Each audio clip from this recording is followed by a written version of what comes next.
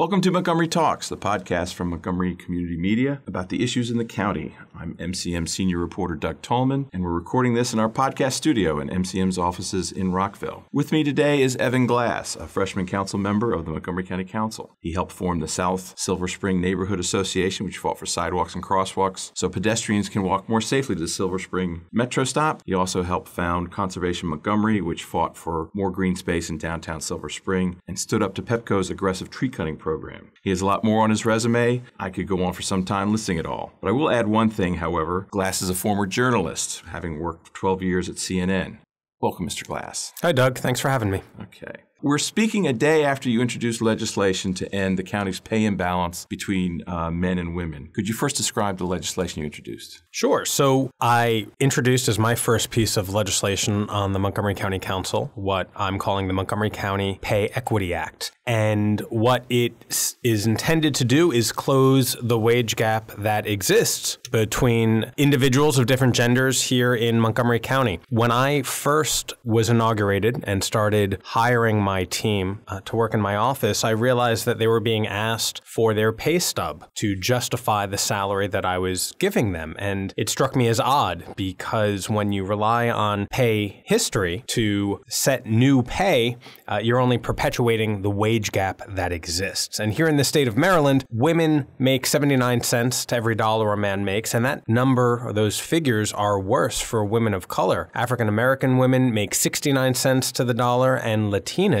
make 48 cents to the dollar. So those are real dollars and cents problems that we have. And so in my research, I found that there are uh, some real systemic inequities that exist currently within county government, and my bill is aimed at correcting that. So, uh, at your press conference yesterday, you presented a lot of data to support the bill, but the data comes from women who currently work for the county. That is correct. This legislation really won't help them because this is all about new hires. Right. So, doesn't that seem a little ironic? Well, so when whenever there is a problem, it needs to be addressed. And there's always a first step. And this is that first step. I have uh, reams of data that show that inequities exist all across the county and we can, you know, even go into some examples if if we have time, but the reality is if we're going to fix the problem, we have to address it. This is shining sunlight on this problem and it will take effect 90 days after it is passed by the county council and signed by the executive executive, all of whom support it, unanimous support among my colleagues. And so future employees of the county will hopefully be hired uh, at equitable wages. Uh, but it does force a tough conversation of how we do right by those who are currently employed.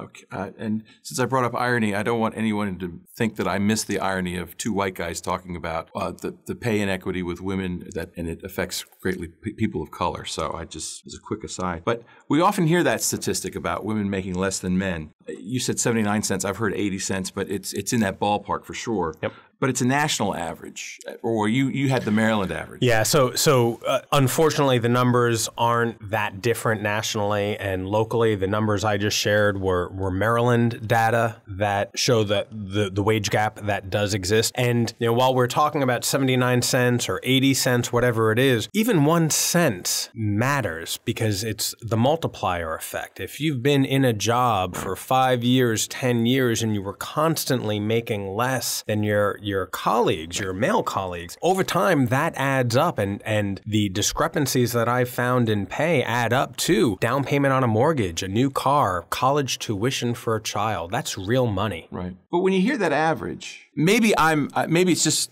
just me, but uh, I think of it and think, well, this can't be happening in Montgomery County, least of all in the county government. So why exactly, you know, is it happening? I mean, what happened? Well, so the fact is, here we are in 2019 in a progressive jurisdiction like Montgomery County, and we have pay inequity taking place right here in our own backyard. Who would have thought that that was happening? But it is, right. as you note. And so I found research that shows that in one instance, within the Department of Transportation, four individuals were hired during a certain time period three men and one woman. That one woman works there, has worked there twice as long as, as the three colleagues, yet she makes between eight and $28,000 less than each of them, or than all three. In another instance, within the Department of Health and Human Services, there were 13 individuals that were hired within a time period, 12 women and one man. That one man makes more than all of his colleagues, all manager level positions, and the range is between five and a half and approximately $30,000. And so while you can lay some blame at negotiating styles or other other items possibly within their resume that make a difference, the simple fact is the data doesn't lie. There is something inherently wrong in our hiring process to create these discrepancies. Um, the unions support your legislation. They do.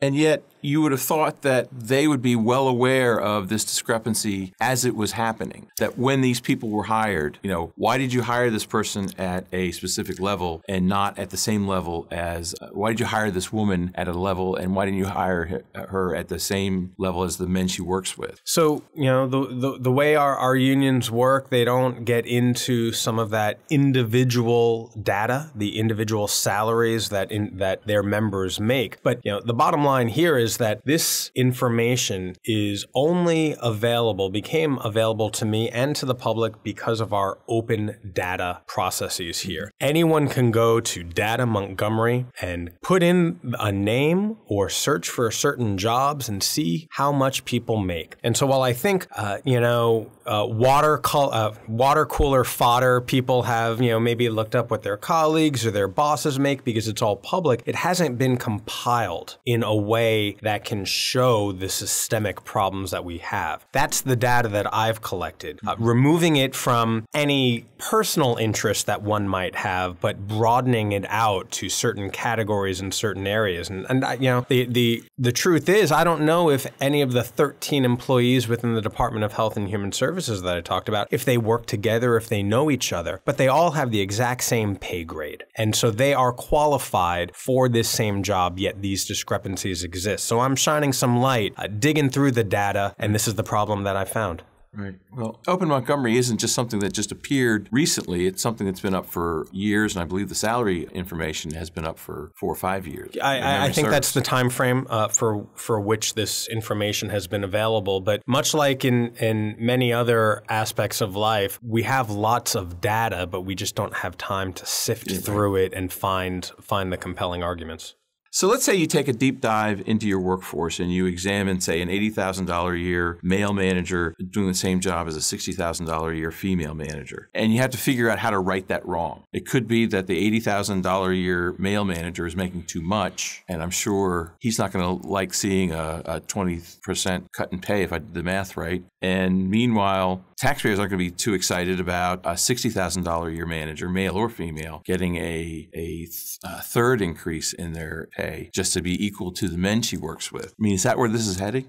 So I'm going to be honest with you. I'm not sure. I recognize that this is a problem, and we're talking about the problem that exists, and, and I believe it's universally under, uh, agreed upon and understood that it is a problem. Where we go from here is is a tougher conversation, and so I have spoken with the county executive who supports the legislation, and he is currently on the hunt for a new director of human resources, and this is going to be my top priority with whomever fills that role: how to manage within our bureaucracy the 10,000 people who would be affected by this legislation and how we how we do right by everybody who's currently in our system. Okay. We we hear a lot about you know, pink collar jobs versus blue collar jobs. Women typically go into teaching, men typically go into engineering. Or on a more county level, maybe it's they go into building maintenance or whatever. Is your research revealing that some of that is at play, or is, is this isn't at all a question of you know a program manager in a more, pardon the term, female-dominated profession versus a, a manager in a male-dominated profession? So, so it's a good question you ask because the data that that I've shared and the data that we collected, it was refined, and so the only information that I'm sharing was for jobs job classifications where there were more than 15 hires during that time period, where there were men and women, so it wasn't a, a simply gender oriented position. So so it was adjusted for that. Mm-hmm. And and the data speak for itself. I, you know, we also found that there were a number of, of job categories where there was absolutely no difference. You know, there were firefighters and bus drivers and, and other careers here in the county where everyone gets the same starting salary. And that might be a different, that might be a way to move forward as well. Maybe tightening the pay grades within some of these manager positions so that there is less discrepancy for the position that one is hired. And maybe that means we create more grades so that we can accommodate the different salaries within, but so that those that have that specific job show little to no pay inequity. Would more grades solve the problem, though? It would seem as though that's part of the problem is that you've got a range at which somebody can be hired, and somebody, a man, is able to negotiate the higher salary, and a woman apparently is, is not able to negotiate and gets a lower salary.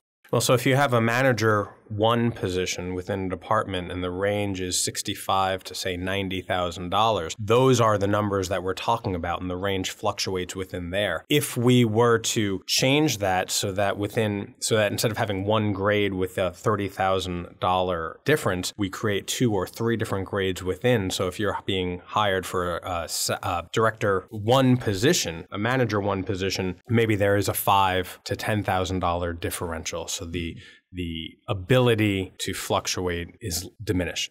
Is this the kind of thing that the council should encourage? I guess it'll be the new inspector general to investigate annually every other year to make sure that this goal is main, maintained, or is this not something that would be under that person's purview? So it would not be under that person's purview, but in my legislation, it actually instructs the executive to do a report every two years, not only on how this is doing in the county and creating a more equitable workplace, but also doing a landscape analysis uh, within the private sector of the county, seeing what what discrepancies might be existing there. Because there is a, a bill at the state level that would ban the use of pay stubs uh, for for anybody, government and and private employers. My bill doesn't do that because I think that we should lead by example and we should start at home because that's where I've found the the glaring examples. But we know that this is a real problem across the board and the legislation would instruct a, a broader landscape analysis.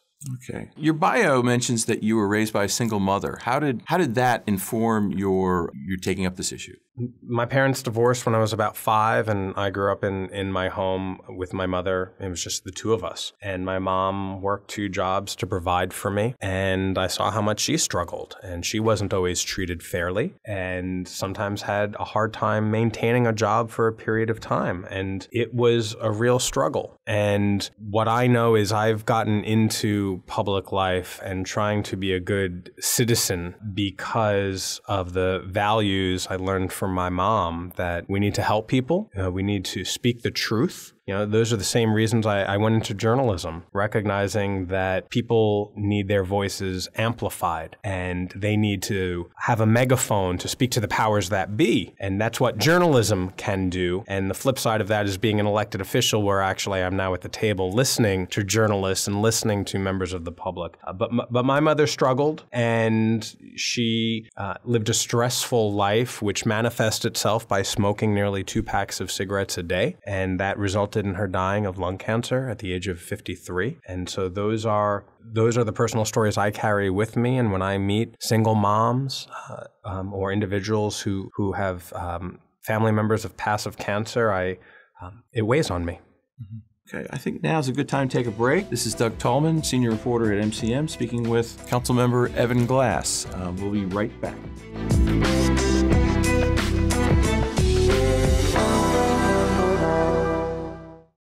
MCM, your community media center, is making Montgomery County a great place to live through programs like 21 This Week. Montgomery County's hardest hitting political talk show keeps you up to date with the local political scene. Montgomery Community Media. Our middle name is Community.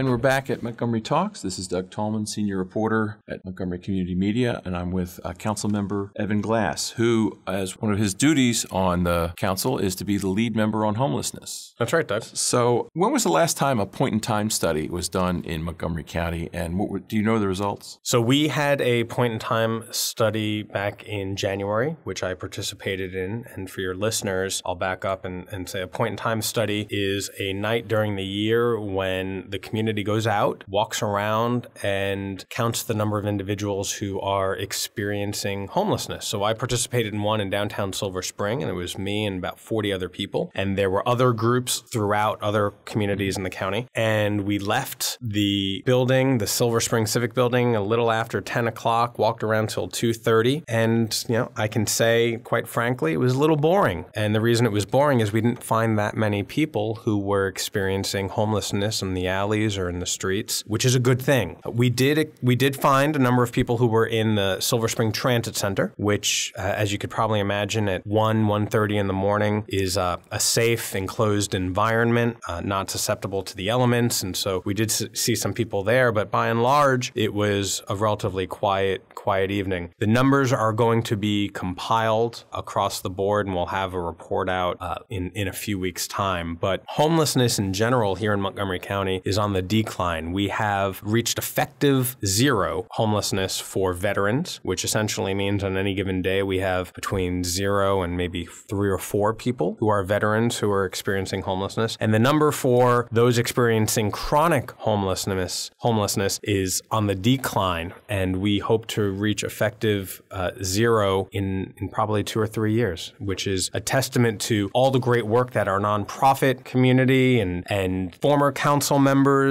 and government leaders, the resources they've put into this has been tremendous, and it's, it's paying off in a good way. Okay. I believe uh, in uh, 2014, the, the county created a 10 year plan to get to zero homelessness. It sounds like you're ahead of schedule. We are ahead of schedule. And, you know, in the, the first three months of me serving on the council, I've been touring facilities all throughout the county and shelters and food banks to, to see what we're currently doing and the number of individuals that we're, we're providing services for. And then, quite frankly, asking how we can do even better and what we, what members uh, of our nonprofit community, what kind of resources they need to better fulfill their mission. And there are there are some things I'm learning that we can, can do better, but we are well on our way. And as you noted, we are ahead of schedule, knock on wood, to, to reach uh, effective zero for chronic homelessness. Okay. If you if you do reach effective zero, would you still be the lead member of, or would the council even need a lead member for homelessness? I think we always need to remain vigilant, and we should always be looking out for those who are the most vulnerable members of our community putting the, the question another way, I am the council's lead on homelessness and vulnerable communities because I am not a chair of one of our committees. And so the way the council provides leadership opportunities for those who are not chairs is by having certain designated leads. We are nine members of the council, six committees. So three of us have various leads, and, and that too could change. Okay. What's the one thing that um, somebody listening to this can do to help the county get to effective zero? There are a number of different organizations and programs that are providing those services, but uh, to, to, to house and shelter individuals. What members of the community can do uh, is a little tougher because for individuals who are chronically homeless and for families who are on the verge of becoming homeless, that's actually the next step in this process. After we reach effective zero for chronically homeless individuals, we are going to uh, double down on preventing homelessness among families to add that preventative medicine. And that is really just being a good neighbor, um, working with some of our nonprofit providers and, and helping either support those with time, treasure, or talent, if, if you will, and making sure that in our budgetary priorities here in Montgomery County that resources are aimed at making sure that families can stay in their homes because ultimately that's what this is about making sure families can stay in their homes and do not have to flee to live on the street or shelter.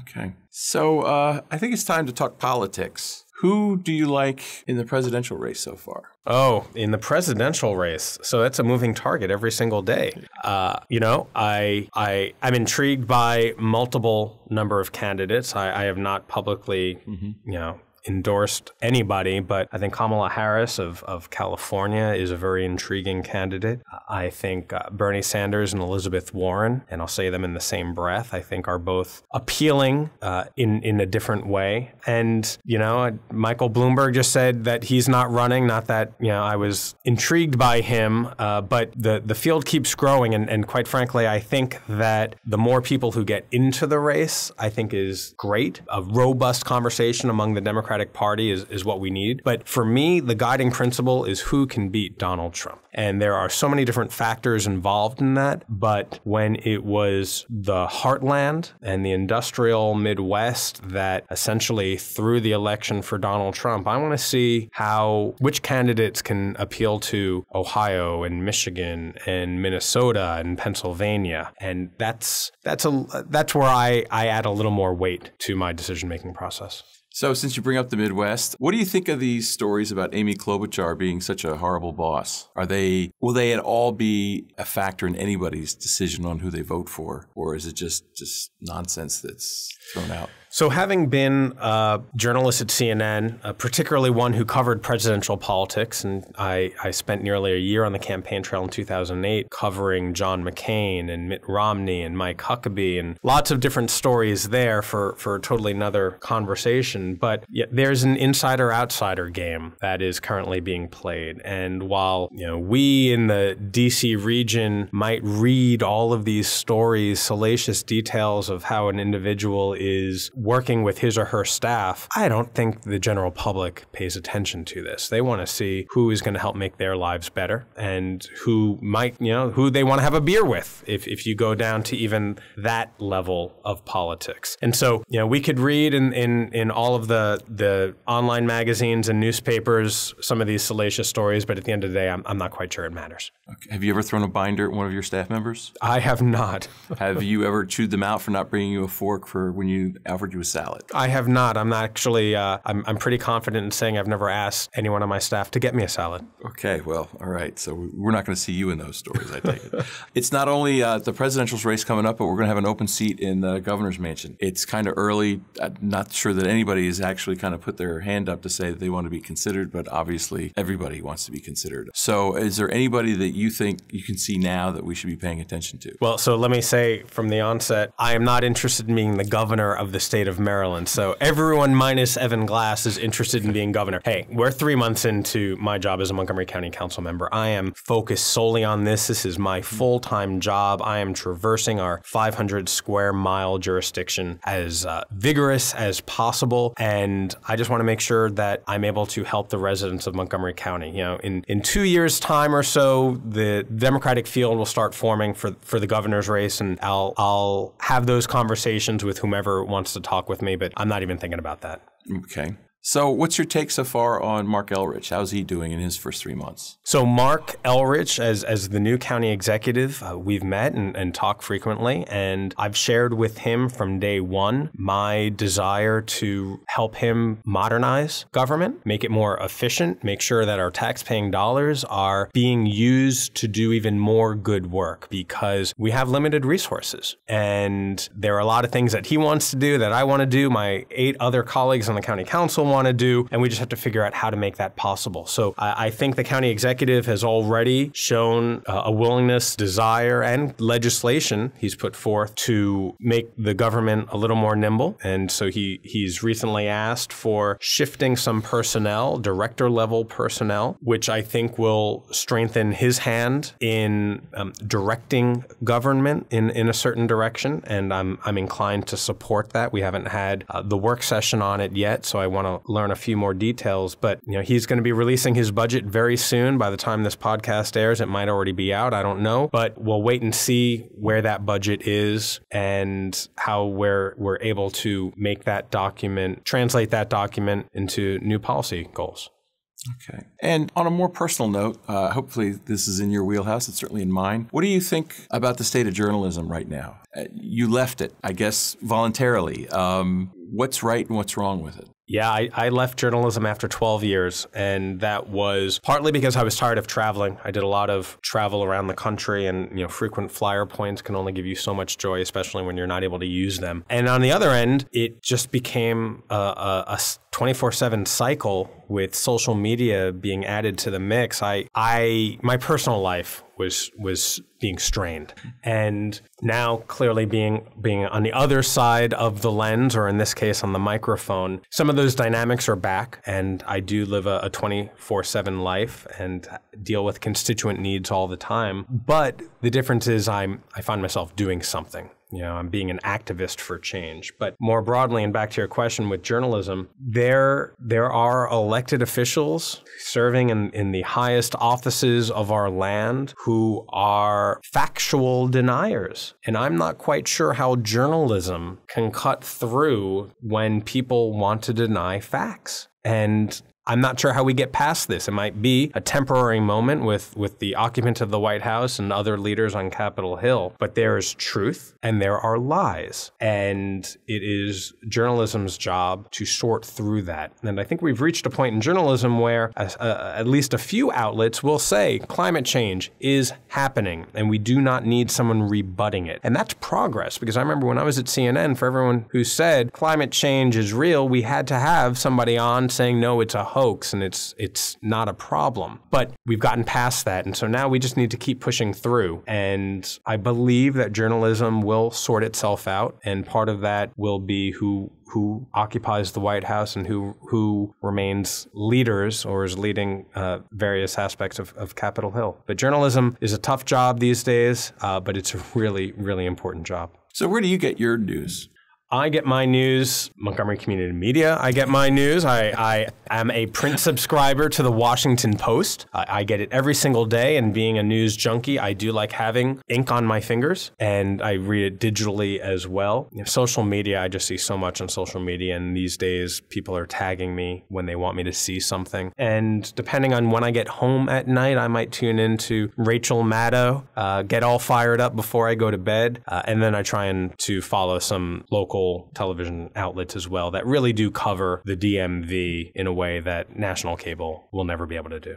Mm-hmm. Okay. You made kind of a splash on your first day of work at the uh, at the county council by taking the bus to work. Have you taken the bus since? So I have taken the metro multiple times. I took the bus on my first day, which was actually two buses. And what I knew then, and what I what has only been reinforced, is we live in a really big county, and for me to do my job correctly, I can't take public transportation as often as I like. I have actually taken the metro more often than I have taken the bus in the last three months because when I'll have meetings downtown or uh, at other points on the red line, I will take the metro. But we have worked out a schedule where I will be in the office a full day, which will allow me to to take the bus. So coming here uh, off of Gude Drive doesn't accommodate me taking the bus, but we have carved out in my schedule uh, moving forward more days when I can do that. Take the okay. bus, that is. Okay. All right. And what's your what do you think of the bus service in Montgomery County? Is it is it where it ought to be, or how would you improve it? So I think we we we have fair, adequate bus service here. Uh, we do have an extensive network, but you know most people don't take the bus, and so they don't know how well it works or how poorly it works. And that is another reason why I'm dedicated to taking public transportation, metro and and bus service as well. You know, I do serve on the Transportation and Environment Committee, and a few weeks ago I advocated to the county executive that we allow kids to ride free on our ride-on system. Right now, kids are able to ride the system for free between 2 and approximately 8 o'clock at night. And students were telling me that was not enough time. They need to be able to get to school in the morning without having to pay for those who don't take MCPS buses. And then if they have a job or have to do caregiving or just want to go to rec- recreational activities, the ability to ride the bus uh, will afford them those opportunities. And so, uh, bus service not only for me to go to Rockville is one thing, but I want to expand it for everybody under 18. And in that sense, we will help foster a new generation of transit users, help them become more environmentally conscious, and do right for those who are reliant on transportation to begin with. Okay. All right. Well, I think now's a good time to wrap things up. Thank you, Mr. Glass, for being here. I'm Doug Tallman, senior reporter for Montgomery Community Media, and this has been Montgomery Talks. Our engineer today has been Mike Valentine, and our executive producer is Gaynell Evans. Come back next time when we'll be talking Montgomery on Montgomery Talk.